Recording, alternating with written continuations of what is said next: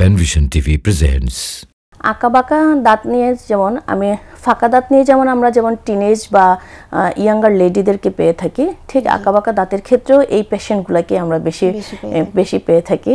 Just ইয়াঙ্গারদেরকেই তো সেক্ষেত্রে আঁকা বাঁকা খুব বেশি আঁকা বাঁকা হলে একটা বা দুটো আঁকা বাঁকা দাঁতের ক্ষেত্রে আজকাল সাধারণত আমরা আমাদের ক্লিনিক্যাল প্র্যাকটিসে ক্রাউনের কথাই বলে থাকি যে সাম- একটা বা দুটো দাঁত আঁকা বাঁকা আছে সেক্ষেত্রে ব্রেস্ট না পরিয়ে শুধুমাত্র ক্রাউন করে দিলেও কিন্তু সোজা করা যায়। কিন্তু যখন অনেকগুলো দাঁতে যেমন উপরের চোয়ালে এবং নিচের চেয়াল- অনেক বেশি ক্রাউডি দাঁতগুলো, খুব বেশি ক্রাউডি এবং মুখের চোয়ালের গঠনটাও নর্মাল নয় অ্যাবনর্মাল কিছু গঠন আছে, সেগুলো আমরা ফাইন্ড আউট করার পরে বা মডেল তৈরি করার পরে যদি দেখি, তাহলে অবশ্যই তাকে ব্রেসেস পরানোর জন্যই পরামর্শ দিয়ে থাকি।